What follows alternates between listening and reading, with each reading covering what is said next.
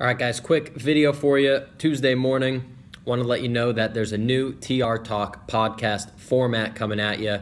Dropped yesterday. We still have the weekly interviews with people that are killing it, giving you the knowledge you need. But now, Monday morning, we're dropping a quick five to 10 minute, hard hitting topic that's important for business and life. The first one is making bold decisions. As Robert Frost would say, freedom lies in being bold. It's a good episode. Let me know what you think. Let me know other topics you want to cover. Really excited about this. Have a great day. Out.